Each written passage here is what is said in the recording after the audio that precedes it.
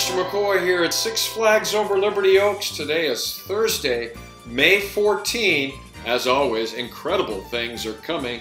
You get to have the opportunity to answer the question, Who is the mystery student? You also have the opportunity to find out who are the five who survive in that deadly funhouse. I also get to tell you about this week's missions, and you have the opportunity to see scenes from Six Flags Over Liberty Oaks.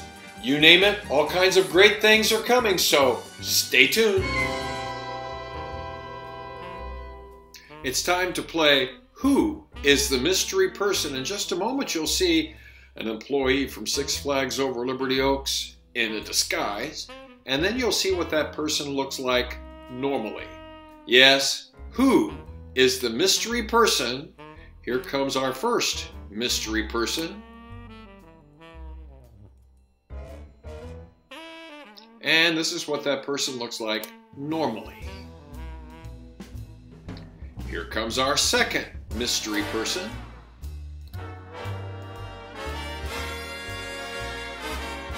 And here's what that person looks like normally. And now comes our third mystery person. Here's what that person looks like normally. You have just been playing Who is the Mystery Person? More games coming in the days and weeks to come. Welcome back to the Deadly Funhouse as we play The Five Who Survive. Here are the members of Six Flags Over Liberty Oaks. What a great group of employees. However, all but five of them will disappear down the deadly tunnel through the deadly funhouse, and then we will end up with five who survive. Here come the eliminations.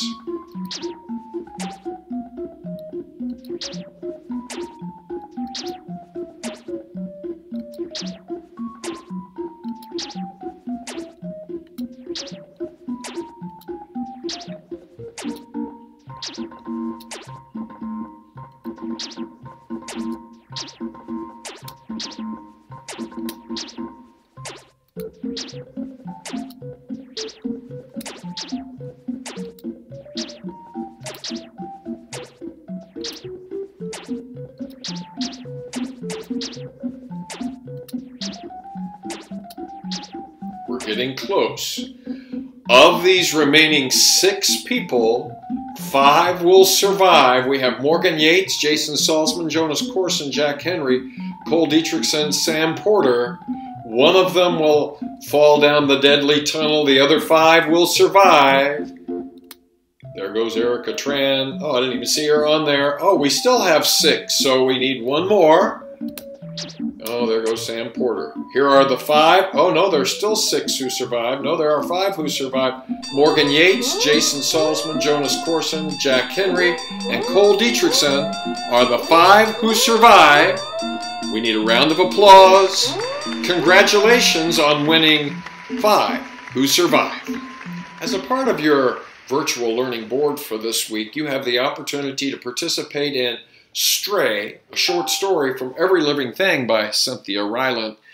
As you participate in this, and it's a part of uh, one of those videos that I've made as a tutorial for your argumentative essay writing, you'll have the opportunity to decide whether or not Doris is a strong character or a weak character. The story starts with in January, a puppy wandered onto the property of Mr. Amos Lacey and his wife, Mamie, and their daughter, Doris.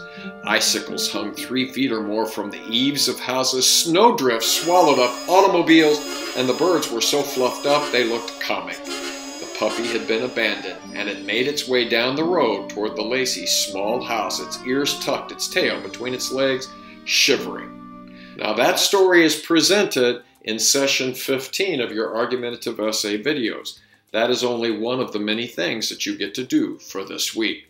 Other things, of course, include math, reading and social studies. You also have the opportunity to do spelling and grammar, as well as specials needs to be worked into your day. You have two fun math games that you get to play. You also get to continue with the Devil's Arithmetic. You can do those on your own, or you can join me at 9 a.m. every morning, and I will present one or two parts.